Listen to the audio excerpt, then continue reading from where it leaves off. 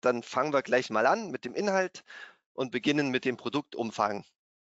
Ähm, was erwartet Sie im HTV Plus im Release 2024.1 Patch 04? Logisch sagt ja schon der Name, ähm, das Programm ist dafür da, um Holzträger mittels Stahlprofilen oder Holzquerschnitten seitlich zu verstärken. Wichtig dabei ist, das ist auch der große Unterschied, ich kann bis zu drei verschiedene statische Systeme eingeben und kann diese anpassen. Also ich kann sagen, wie sind diese drei, drei Systeme gelagert, wie ist die Verbindung links gelagert, wie ist die Verbindung, äh, die Verstärkung links gelagert, wie ist die Verstärkung rechts gelagert, wie sind sie verbunden, wie sind die Verbindungsmittel? Und kann dort über äh, variable stiftförmige Verbindungsmittel auch den Abstand frei bestimmen in bestimmten Bereichen für bestimmte Verbindungen und kann so meinen verstärkten Träger ähm, wirklich äh, sehr komplex aufbauen und auch sagen, zum Beispiel, wo ist welcher Träger wie belastet oder welche, welche Verstärkung kriegt welche Last ab. Ähm, dazu, da sei dazu gesagt, ich sage jetzt immer Patch 04, Patch 04.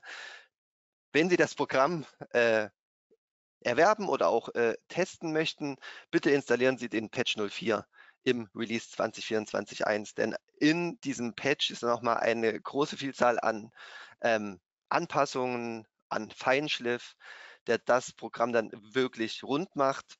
Und deswegen mein Hinweis nochmal, bitte Patch 04 installieren, um das Programm in der Vielfalt zu erleben, ja, die sie Ihnen jetzt bietet. So, dann haben wir jetzt viel gesprochen über die seitlichen Verstärkungen schon. Äh, was ist denn da so möglich? Ähm, die Verstärkungen können Sie wahlweise entweder mit, mit U- oder L-Profilen gestalten, ähm, stehen Ihnen alle ähm, ja, üblichen Profilreihen zur Verfügung. Oder ich kann sagen, nein, ich verstärke es nicht mit Stahl, ich verstärke es mit Holz und kann dann äh, rechteckige Holzquerschnitte mit variabler Breite und Höhe definieren. Äh, was hier natürlich jetzt sehr spannend ist, ich kann das abschnittsweise definieren. Also ich kann wirklich sagen, in einem Bereich, wie wir das in dem Beispielbild hier schon schön sehen, ist die Verstärkung nur mal lokal, vielleicht an der Stelle, an der sie auch erforderlich ist und kann dann sagen, ist diese einseitig, zweiseitig, in dem Bereich nur links, in dem Bereich nur rechts und kann mir wirklich so individuell meinen Träger aufbauen. Dann natürlich auch immer so ein Fakt, den man beachten muss, ist denn die Lagerung noch gleich oder übernimmt vielleicht sogar meine Verstärkerung in einem Bereich die Lagerung, die mein Holzkern gar nicht mehr schafft. Ähm, hat man vielleicht im Bestandswesen oft, wenn dann diese Auflager etwas verfault sind und da ich dann entscheiden muss als Statiker, ja, liegt da mein Holzkern überhaupt noch richtig auf oder muss ich da die Verstärkung lieber auflegen? Ähm, und dann natürlich immer die Frage der Lasteinleitung. Ähm, erfolgt die Lasteinleitung jetzt nur noch über den Kern?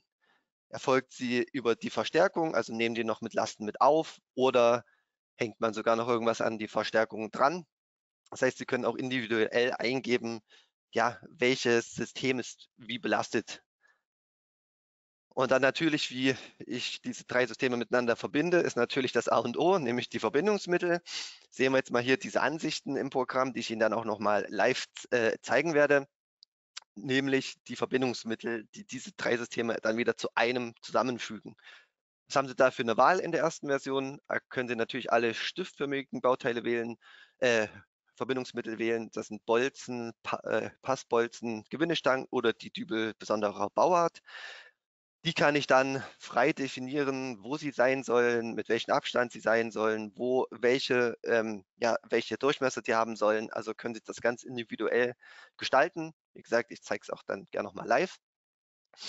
Ich kann aber auch die Eigenschaften anpassen. Also wenn ich jetzt vielleicht ähm,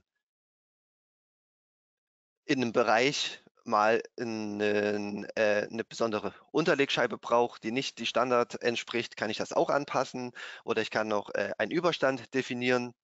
Können Sie also auch noch individuell die Verbindungsmittel anpassen. Was noch ganz praktisch ist, was wir auch nachweisen, ist nämlich die, äh, die Abstände parallel zur Faser, also sozusagen nach links und rechts, wird geschaut, ist da genug Platz zum Nachbarverbindungsmittel oder auch zum Rand und ist dieser Abstand, den ich nach der Norm äh, einhalten muss, eingehalten. Jetzt sind wir schon beim Thema, äh, was wird nachgewiesen. Habe ich jetzt mal noch eine Folie gemacht zur Bemessung. um auch Ihnen so ein bisschen den Hintergrund des Programmes etwas zu erläutern. Auf dem Bild sieht man das auch schon ganz schön. Ähm, es wird alles über ein Stabwerksmodell berechnet und der Holzträger, also mein Kern, mein Hauptträger, ist dann über die Verbindungsmittel nachgiebig mit den Verstärkungen gekoppelt. Und die Schnittgrößen und natürlich auch die Verformungen werden dann in den Teilabschnitten und in den Verbindungsmitteln an sich berechnet und dann wird halt einfach geschaut, wie ist da die Kraftüberleitung, wie beteiligen sich vielleicht die Verstärkung an der Kraftüberleitung. Ähm, und da können Sie ganz schön sehen, wie durch den Einfluss der Verbindungsmittel auch die Kräfte umgelagert werden.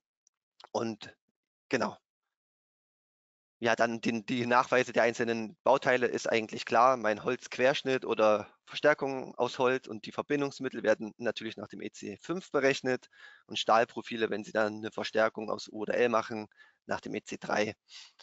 Ähm, interessant ist noch natürlich, die Durchbiegungswerte werden dann auch für jedes dieser äh, Systeme oder Bauteile einzeln ermittelt, sind natürlich aber immer zusammenhängend als ein statisches System dann zu sehen.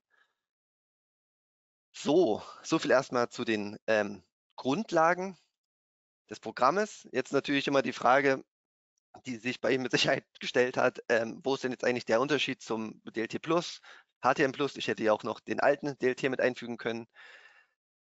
Denn im DLT Plus, HTM Plus, alter DLT kann ich natürlich auch sowas eingeben.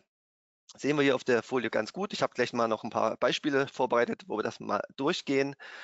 Ähm, man sieht aber schon, ich gebe einen einzelnen Träger ein in den Programmen, also ein statisches System und kriege dann einen Schnittgrößenverlauf raus. Und dieser Schnittgrößenverlauf oder die Schnittgrößen, die die Durchbiegung, ähm, die ich ermittle für dieses eine statische System, werden dann verteilt auf Grundlage der jeweiligen Steifigkeiten. Also je nachdem, wie steif da meine Verstärkungen sind, kriegen die mal mehr oder mal mehr äh, oder mal weniger Lasten ab. Und dann werden natürlich die Nachweise dafür geführt. Zeige ich auch gleich nochmal. Dann werden keine Verbindungsmittel nachgewiesen. Da werden Sie, Sie jetzt sagen, ja, äh, im alten DLT, da ging das ja. Stimmt, aber im alten DLT wurde einfach nur die maximale Querkraft verschmiert.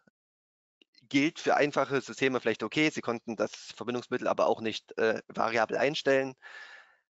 Wir kriegen damit recht gute Ergebnisse für, sage ich mal, recht einfache Systeme. Aber wir kommen da in Schwierigkeiten, wenn wir ähm, Systeme haben, die ein bisschen komplexer sind. Was heißt komplexer? Zum Beispiel Systeme mit, mit unterschiedlichen Feldlängen. Dann in dem Beispiel hier, was ich Ihnen gleich zeige, gut zu sehen, der Einfluss von lokalen Einzellasten. Wenn ich teilweise verstärken will, ist es schwierig.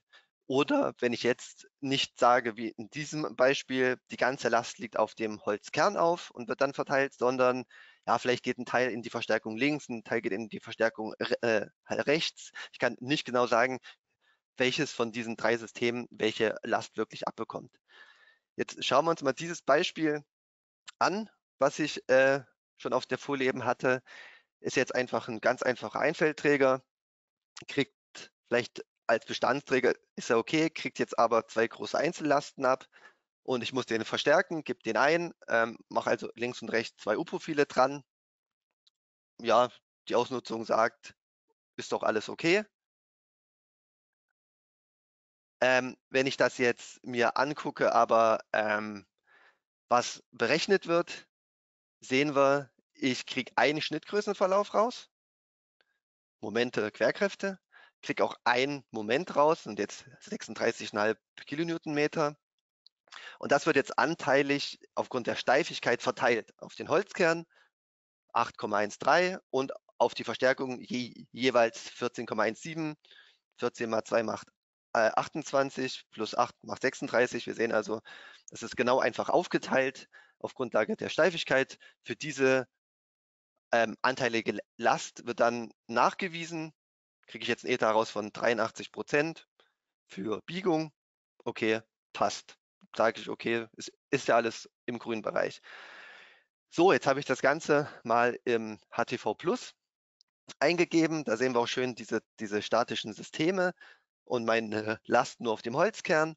Das erste, was wir sehen, hier, hier ist schon mal ähm, GZT Holzkern 109 Prozent. Wieso ist das so? Sehen wir jetzt auf der nächsten Folie, da habe ich mal die Schnittgrößenverläufe, jetzt sind nur mal die Momente erst einmal herausgezogen für diese drei statischen Systeme. Und da sehen wir auch schon schön den Einfluss der Einzellasten, je nachdem, wie ich meine Verbindungsmittel gewählt hatte.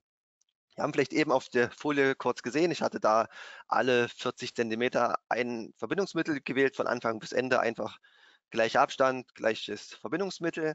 Und jetzt kommt es äh, natürlich bei Einzellasten darauf an, wo sind die Verbindungsmittel und wie wird dann die Einzellast auch ausgeleitet. Wir sehen jetzt, dass der Holzkern belastet ist und dass ein großer Anteil trotzdem noch in den Holzkern geht durch diese Einzellasten. Wir sehen das an diesen verschobenen Momentenverläufen. Und wenn ich jetzt den Nachweis natürlich nicht mehr mit 8, was weiß ich, 2 waren es, glaube ich, führe, sondern mit 10,8, ja, dann ist mein Ether natürlich deutlich höher. Das heißt, ich müsste mir jetzt nochmal die Gedanken machen, wie sieht das aus mit meiner Verbindungsmittelwahl? Müsste ich die vielleicht lokal im Bereich dieser Einzellasten enger setzen, anderen Durchmesser wählen, andere Festigkeit wählen, was auch immer. Ich müsste also reagieren. Noch gravierender ist das natürlich, wenn wir uns mal die Querkraft anschauen. Ähm, auf der Folie jetzt links ähm, das, die Ergebnisse des DLT Plus, rechts vom HTV Plus. Ähm, der Querkraftverlauf ist natürlich jetzt deutlich anders. Den erwarte ich vielleicht auch gar nicht so, wenn ich mir das nicht mal angucke, ähm, dass es doch einen deutlichen Unterschied gibt in Bezug auf die Belastung des Holzkerns. Wie macht erstmal der alte wieder? Der alte kriegt eine maximale Querkraft raus, macht jetzt im Abstand D vom Auflager, nimmt er sich diese Querkraft, diese 32 und teilt die wieder auf äh, für den Holzkern und für die Verstärkung ähm, und bemisst dann natürlich den Holzkern mit dieser anteiligen Querkraft. So, wenn ich das jetzt aber mal im HTV Plus eingebe, sehe ich, dass sich die maximale Querkraft für diesen Holzkern gar nicht so einstellt, wie das vielleicht ähm, ich mir überlegt hatte, wie das vielleicht bei der Verstärkung sich einstellt, sondern dieser Einfluss dieser Einzellast ist doch so groß, dass es ein lokales Maximum gibt, nicht im Bereich des Auflages, sondern im Bereich dieser Einzellast. Das heißt, ich kriege jetzt die doppelte Querkraft und mein Nachweis geht von 43 Prozent auf 89 Prozent hoch. Das heißt, um sowas zu erkennen, ist es einfach deutlich geschickter, das in einem Programm wie das HTV ähm, einzugeben, wo ich jetzt reagieren kann und sagen kann, okay, einfach in dem Bereich von diesen großen äh, Einzellasten brauche ich mehr, mehr Verbindungsmittel. Aber wie viele, welcher Abstand, ist für mich schwer vorher äh, abzuleiten. Da ist halt schön, das in einem Programm iterativ ein bisschen auszuprobieren und dann zu schauen, okay, jetzt habe ich wirklich mein ideales System gefunden und es ist so, ge, so gekoppelt, damit die, die Kräfte am idealsten verteilt werden. So, jetzt fasse ich das Ganze nochmal auf einer Folie zusammen. Ähm, was sind denn jetzt die Vorteile? Haben Sie das jetzt alles schon mal gehört? Klar, ich kann drei individuelle statische Systeme erstellen. Auf dem Bild jetzt mal vielleicht ein bisschen übertrieben. Ähm, Ich habe eine äh, realistische Betrachtung der exakten Lasteinleitung in den Holzkern. Das heißt, ich habe über die Verbindungsmittel genau die Lastverteilung und habe auch den Einfluss über die Verbindungsmittel. Und ich kann, wie man das hier unten sieht, ich habe es jetzt auch mal ein bisschen übertrieben, genau sagen, welche Last steht wo drauf. Also ist die Verstärkung links und rechts, beteiligt die sich, äh, geht überhaupt noch was in den Holzkern und kann das ganz individuell eingeben. Und was man hier auch ganz gut sieht, ich kann vielleicht ausgefallene Lager oder nicht mehr vorhandene Lager auch gut darstellen. In dem Fall ist jetzt dieser Holzkern über die gesamte Länge, also mein längstes Teil in diesem statischen System, hat aber nur noch ein Auflager rechts, weil vielleicht das links und in der Mitte einfach nicht mehr anzusetzen sind aufgrund von ja, den äh, Gegebenheiten auf der Baustelle. Und so kann ich mir wirklich mein realistisches System abbilden und kriege auch dann die Ergebnisse raus, die ich brauche, um zu reagieren, wie ich meinen Träger ideal verstärke. So, jetzt ist natürlich, jetzt kennen Sie das, wie Sie das im DLT gemacht haben und jetzt ist immer die Frage, okay, schön, jetzt gibt es ein neues Programm, wie komme ich denn da hin? Und auch der Weg ist natürlich für uns sehr wichtig, nämlich die Verknüpfung vom DLT Plus oder HTM Plus zum HTV Plus. Und wie Sie das jetzt nach meiner Vorstellung aus. Also Sie haben im DLT Plus vielleicht den Bestandsträger mal eingegeben und merken jetzt, der Bestandsträger geht nicht mehr. Aus unterschiedlichen Fällen. Einen Fall zeige ich Ihnen gleich live. Und ich muss reagieren. Ähm, ich habe aber schon alles eingegeben. Dann gibt es jetzt die verbundenen Programme bei Frilo, die kennen Sie ja. Und da können Sie jetzt das gesamte System eins zu eins übergeben ins HTV Plus und müssen dann dort nur noch die Verstärkung und die Verbindungsmittel definieren. Also Sie müssen nicht nochmal alles eingeben. Ich kann mit einem Knopfdruck dann im HTV Plus auch die Verstärkung definieren und sie dann entweder ich weiß gleich, was ich mache oder halt iterativ anpassen. Und somit müssen Sie nichts doppelt eingeben und es gibt gleich die, den schönen Workflow von der Eingabe des Bestandsträgers im DLT Plus zum neuen Programm. Und das Ganze möchte ich Ihnen jetzt gerne nochmal live zeigen an einem äh, sehr praxisnahen Beispiel. Das ist jetzt eine HTM Plus Position, ähm, habe ich hier eingegeben. Äh, wir schauen uns erstmal kurz das System an und machen uns damit vertraut, damit wir auch wissen, worüber wir hier sprechen. Es ist also ein ganz einfacher Zweifeldträger, ähm, jetzt irgendein Balken, der im Abstand von 80 Zentimetern liegt, im Nadelholz C30. Ähm, das erste Feld ist ein bisschen größer als das zweite. Ich habe einfach eine Streckenlast drauf, eine ständige Last und eine veränderliche Last. An der Stelle nochmal als DLT Plus Betreuer mein Hinweis, wenn Sie diesen Balkenabstand einstellen, denken Sie dran, bei der Lasttabelle auch die Haken hier zu entfernen, wenn Sie möchten, dass die eingegebene Last auch über den Balkenabstand berechnet wird. Und am besten mal mit der Maus drüber fahren über diese Last, dann ist es die beste Kontrolle, denn jetzt ist, sehen wir, dass unsere 1,95 Kilonewton pro Quadratmeter mal den Balkenabstand gerechnet werden und ich so jetzt den Balkenabstand auch anpassen könnte. Aber das ist unser Bestand. Okay, das war der Ursprungsträger. So, jetzt gehe ich auf die Baustelle und merke, okay, irgendwie ist beim zweiten Auflager was passiert, sei es verfault, sei es ein Schaden, keine Ahnung.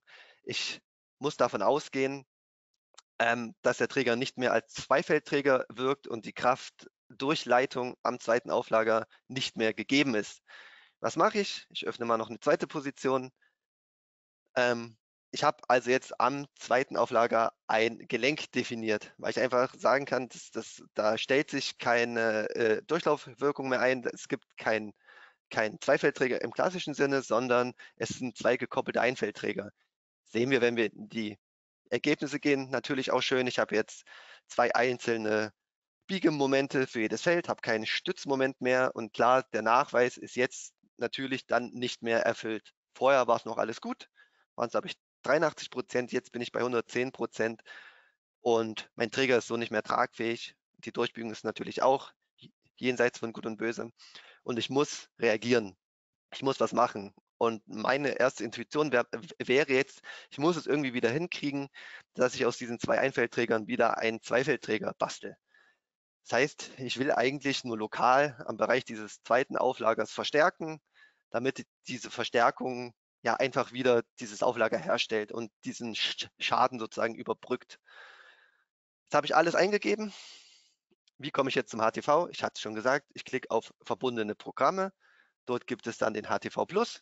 Klicke ich einmal drauf, es öffnet sich das HTV Plus und im ersten Augenblick sieht alles erstmal exakt gleich aus. Und das ist auch so gewollt denn wir haben hier die gleiche Oberfläche benutzt wie beim äh, DLT Plus, damit Sie sich jetzt nicht groß umstellen. Ähm, Sie finden alles an den gleichen Stellen. Natürlich gibt es ein paar mehr Tabellen.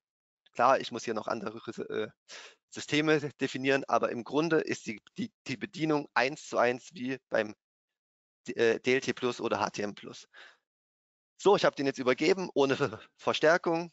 Wichtig, ich klicke auf Berechnen ich kann den Träger nicht berechnen ohne Verstärkung. Denn es geht uns ja um die Verstärkung. Das heißt, Sie müssen jetzt Verstärkung definieren. Wie mache ich das? Ich könnte jetzt natürlich durch die Tabellen äh, durchgehen und das alles mal durchklicken. Wir haben aber auch, damit schnell gehen muss, ähm, zwei Knöpfe eingefügt. Die haben Sie vielleicht schon entdeckt, sind hier ganz links. Ähm, das ist einmal so ein kleiner äh, Block mit zwei U's dran. Das ist unsere Stahlverstärkung und ein kleiner Holzblock mit zwei anderen Holzblöcken nebendran. Das ist unsere Holzverstärkung. Und Sie können jetzt mit einem Knopfdruck diesem Träger automatisch Verstärkungen ähm, anpinnen oder ja, geben. Ich drücke einfach mal, ich sage ja, wir wollen Stahl verstärken. Ich drücke auf den Knopf und zack, schon gibt er mir automatisch Verstärkungen. Jetzt werden Sie vielleicht sagen, ja, schön, irgendwie sind da so Klammern und ich kann das irgendwie nicht so ganz gut ähm, erkennen. Wo ist jetzt die Verstärkung? Wie sieht das Ganze jetzt im statischen System aus? Dazu haben wir jetzt verschiedenste Ansichten generiert, die Sie durchschalten können. Ähm, ich gehe mal hier oben auf Systemansicht, ist der neue Button. Sie finden das aber auch alles als interaktiven Text links und wir haben jetzt diese Arbeitsansicht, das ist die Ansicht, in der wir uns gerade befinden. Wir können aber mal in die Systemansicht mit Verbindungen klicken. Das ist das Bild, was wir eben schon gesehen haben in den Folien. Ich habe jetzt eine Verstärkung äh, mit Knopfdruck definiert, links und rechts von Anfang bis Ende durch. Ähm, an der Stelle kurz noch ein persönlicher Tipp von mir. Bitte definieren Sie das nicht so, dass Sie ähm, Verbindungsmittel genau an den Auflagern haben. Ich glaube, in der Praxis wird es keiner so bauen, dass Sie direkt beim Punkt Null oder direkt beim Auflager äh, irgendwie einen Dübel durchjagen. Ähm, deswegen geben Sie es bitte so ein, dass auch die Randabstände äh, passen und im Bestfall keine Verbindungsmittel am Auflager vorhanden sind. Ich gebe das gleich nochmal für dieses Beispiel zusammen mit Ihnen ein. Was gibt es da noch bei den Ansichten? Natürlich auch die, die Belastung. Ich muss natürlich sehen, ähm, welche Last steht wo drauf. Dafür gibt es auch nochmal eine extra ähm, Ansicht, um einfach zu kontrollieren, passt die Last, steht die jetzt auf der richtigen Verstärkung, ist sie links, ist sie rechts, einfach sehr geschickt zum Kontrollieren und natürlich gibt es das Ganze jetzt auch noch in 3D, wo ich mir das mal angucken kann, ist jetzt hier bei uns natürlich ein bisschen uninteressant. Noch. Ich gehe mal wieder zurück in die Arbeitsansicht. Ähm, ich hatte ja gesagt, es wurde alles übernommen. Das ist auch so. Wir sehen den Balkenabstand, wir sehen die, äh, die Last, die mit dem Balkenabstand berechnet wurde. Wir sehen, die Festigkeitsklasse passt, alle anderen Einstellungen wurden auch übernommen.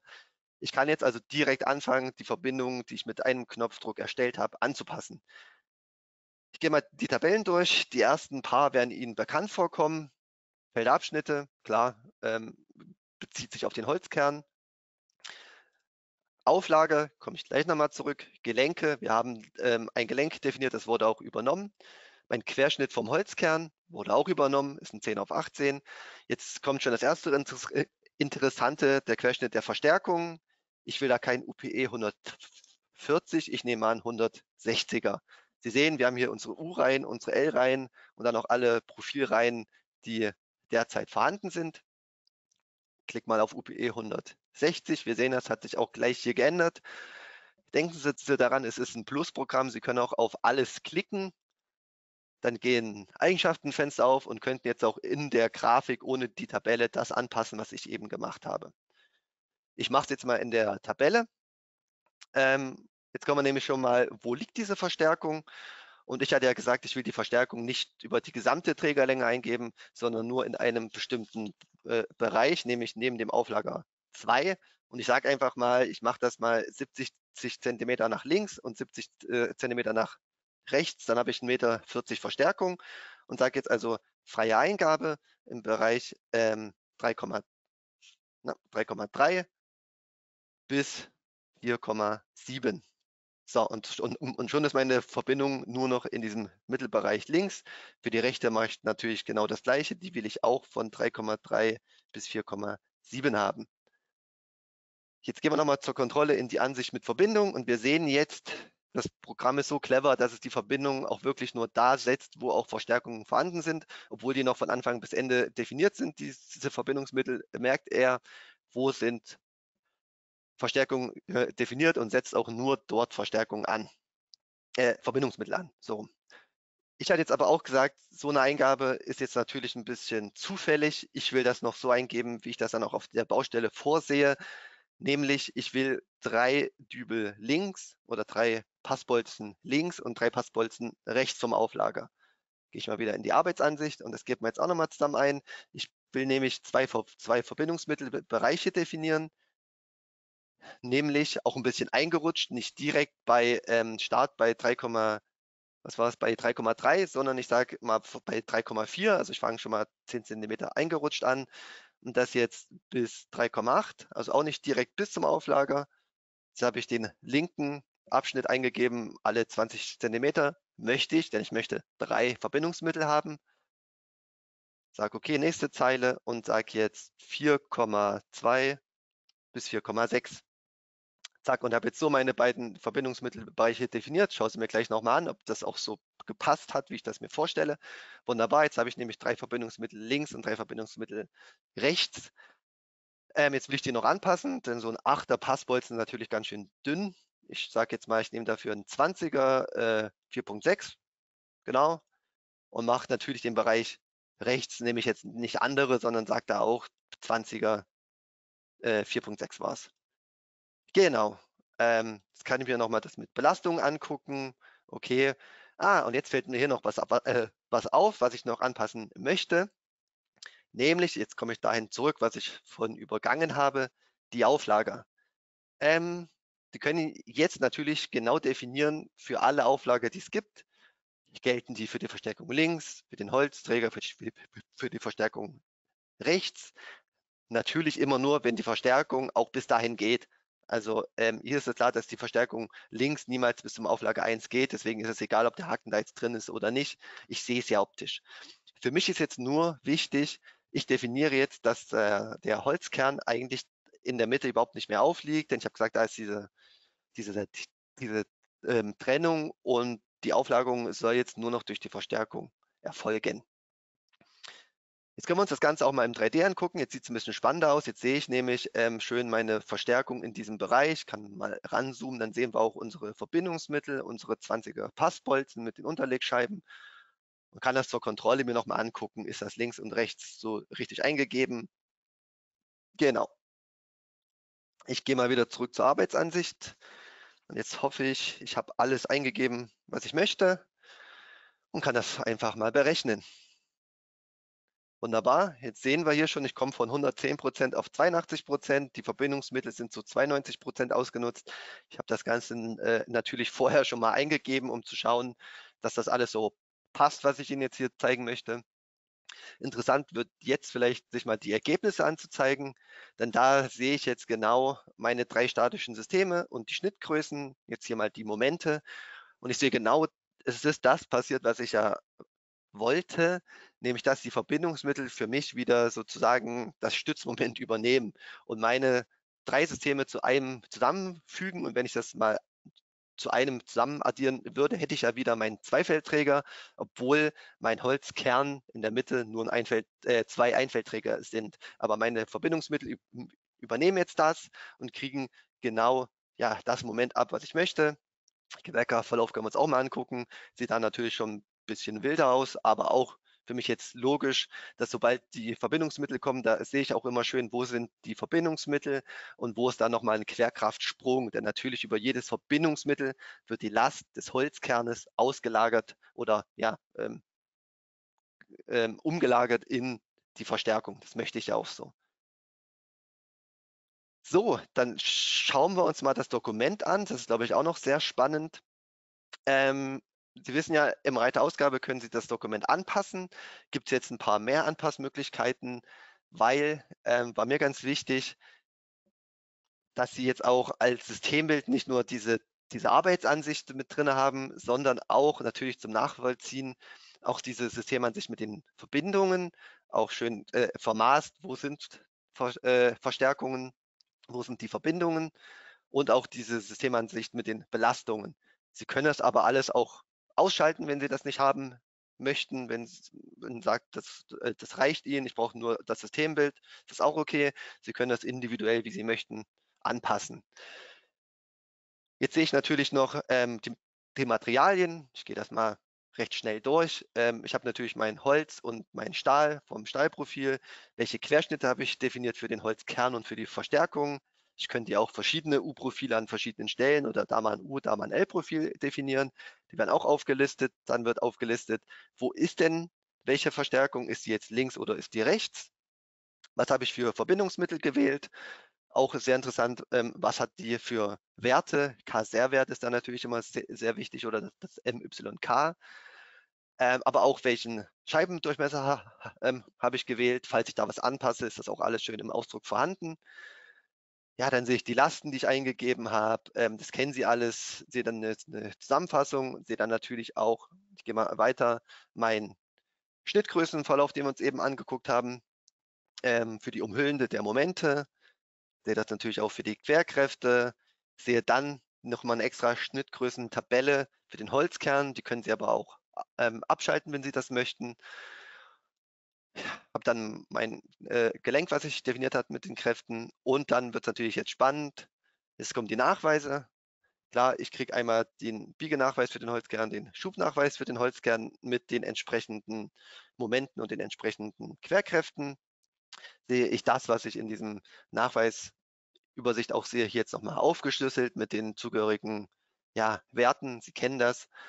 Genauso für die Verstärkung links und die, Ver die Verstärkung rechts. Wenn ich hier unterschiedliche wähle, haben die natürlich auch unterschiedliche ähm, Kräfte. Jetzt hier bei uns ist natürlich alles symmetrisch, das heißt links und rechts ist hier jetzt gleich.